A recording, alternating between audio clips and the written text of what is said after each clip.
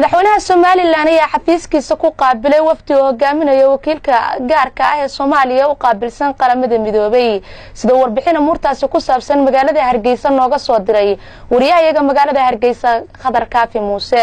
madaxweynaha somalilan muuse biixi cabdi oo weheliyo ku-xigeenkiisu iyo xubno ka mida golihiisa wasiirada ayaa aqalka madaxtooyada ku qaabilay wafdi uu horkacayo ergeyga gaarka ee jimciyadda quruumaha ka dhaxaysa u qaabilsan waddamada somalilan iyo soomaaliya ambasador michael kitin kulankan oo saacado badan qaatay warbaahintuna dibad joog ka ahayd markii uu soo dhammaaday waxaa warbaahinta si wada jira ula hadlay. Wasiirka amuuraha dibadda xukuumadda somalilan u qaabilsan dhaktar sacad cali shire iyo ergeyga gaarka ee jimciyadda quruumaha ka dhexaysa u qaabilsan waddamada somalilan iyo soomaaliya. Ambasador michael kitin saaka waxaa halkan inoogu yimi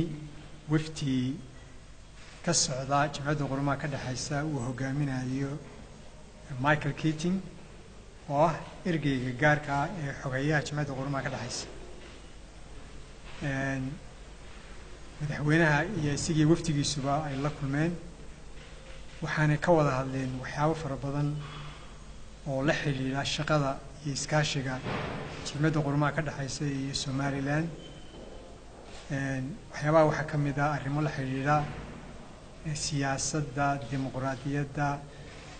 nabadgeliyada dhaqaalaha mucaawinada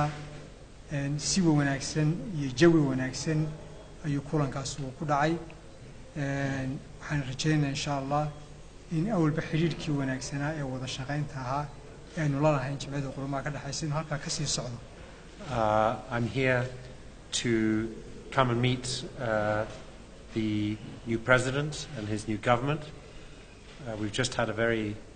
waxaan u imi somalilan inaan ugu hambaliyeeyo xukuumadda iyo shacbiga reer somalilan doorashadii ka dhacday halkani sannadkii la soo dhaafay. qaramada midoobey waxa ay somalilan ka caawisaa caqabadaha ammaanka abaaraha waxbarashada caafimaadka shaqo abuurka dhallinyarada iyo arrimaha kale ee siyaasadda sator michael ketin oo hadalkiisa sii wata ayaa soo hadal qaaday xaaladda ka taagan deegaanka tukaraq ee gobolka sool waxaana uu yidhi. Dhanka kale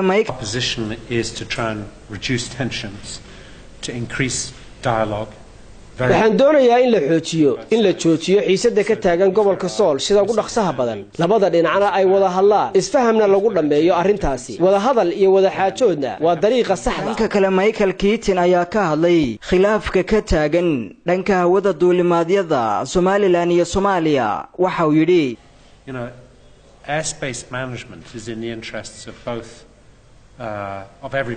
waxay ila tahay inay ka wada hadlaan arrintaasi soomaaliya somalilan iyo hay'adda ikawa waana in la caddeeyo wax kasta oo ku saabsan muranka hawada isla markaasina lagu dhammeeyo wadahadal iyo wadaxaajood to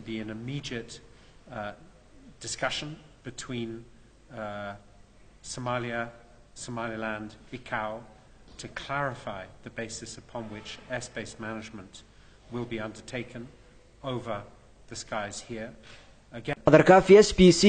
hargeysa